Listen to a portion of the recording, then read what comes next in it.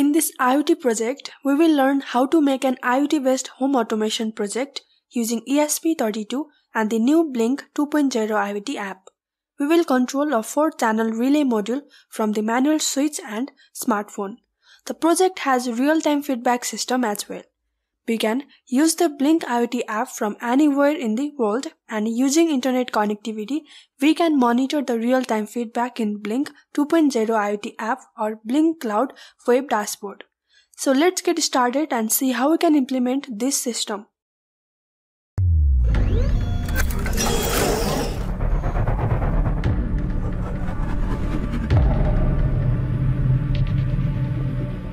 Do you want professional PCBs like this one that looks so good? Then use the services of NextPCB. You can select the board size, any solder mask color that you want, including something like red and green. You can select the thickness and the PCB could be from 2 up to 32 layers for some more complex design.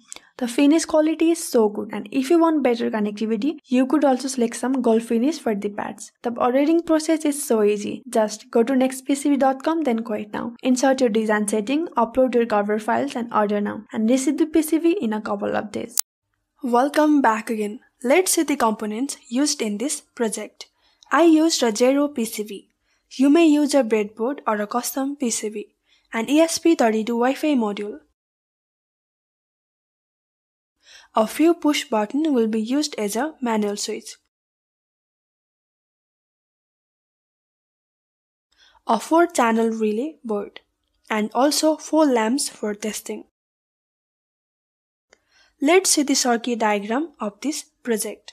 4 relays are connected to ESP32 GPIO 17, 5, 18 and 19 pins. Manual switches are connected to ESP32 GPIO 13, 12, 14 and 27. The relay and ESP32 are powered via an external 5V power supply. Connect 4 AC appliances at the output terminal of the relay. I use this Zero PCB to assemble the manual switch and ESP32 together. This board is connected to relay and the output is connected to 4 AC bulbs. This box contains the relay module and the power supply required for the device to operate. Before moving to the coding part, we need to set up the Blynk web dashboard and mobile dashboard. Open your web browser and go to blynk.io. Sign up using the email ID. First, add a new device. Select the first option that is from template. Give any name to template and device and click on create. A new device will be created.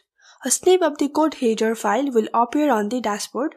Copy and save this code as it will be used in the Arduino IDE. Click on the template logo and select the template that you just created. A template page will open. From this template, select the web dashboard. From this page, click on edit. Now, we need to add the widget to the dashboard. Drag the widget called switch from the left side and place it on the dashboard. Create such for widget as we have four relays to control. Click on setting icon on widget 1. The following page will open. Give title name anything. For example, light 1 or relay 1. And under the data stream part, select virtual pin. Under data stream section, select virtual pin V0. Then click on create and then on save. Similarly, do the same for the remaining three widgets. Give them the names light 2, light 3 and light 4 and select virtual pin is V1, V2 and V3 respectively. Click on Save and Apply to make changes to what setup has been made so far. Now, your web dashboard is finally ready. Using this web dashboard, you can control your home appliances. Apart from the web dashboard, you can also set up your mobile app dashboard. For that, download the Blynk from Play Store or App Store and you can follow the video to set up the dashboard. The mobile app dashboard looks something like this. Let's move to the coding part now. These three lines are taken from Blynk Setup dashboard. From these lines, change the Wi-Fi SSID and password. We need the Blynk ESP32 library and the AceButton library.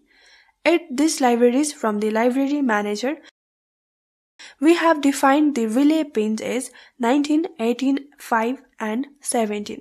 Similarly for switch pins, we defined pins 27, 14, 12 and 13. Virtual pins is defined in the Blynk are V1, V2, V3 and V4. The initial state of relay is toggled to 0 as we want to turn it off initially. We have defined the AceButton configuration here and created the AceButton handler. The rest of the commands are related to the Blynk applications and events.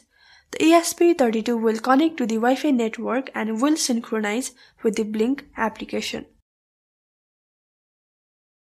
Alright, now we should upload the code. For this, select the ESP32 tape module from the board list. Then select the COM port. Then hit the upload button to upload the code to the ESP32 board. While uploading the code, disconnect to the relay power button. Once uploading is done, you can start testing the home automation project. As demonstrated here, you can send on-off command from the web dashboard to turn the on-off the bulbs. You can also press the manual switch button to control these bulbs. The feedback is reflected immediately on the web dashboard as well.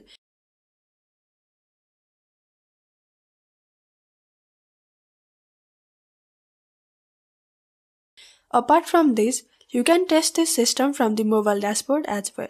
Send the on command to turn the relay on and send the off command to turn the relay off. That is it.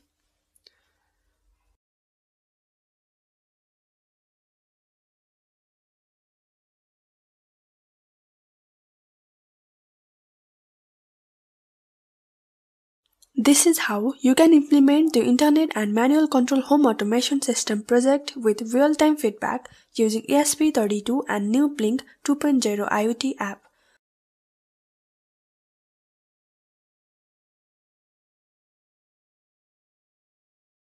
The complete project details, including device information, purchase link, source code and written guide can be followed in the How to Electronics website article. In case you have any other questions, you can comment in the comment section below. Thank you so much for watching. See you in the next video. Bye bye.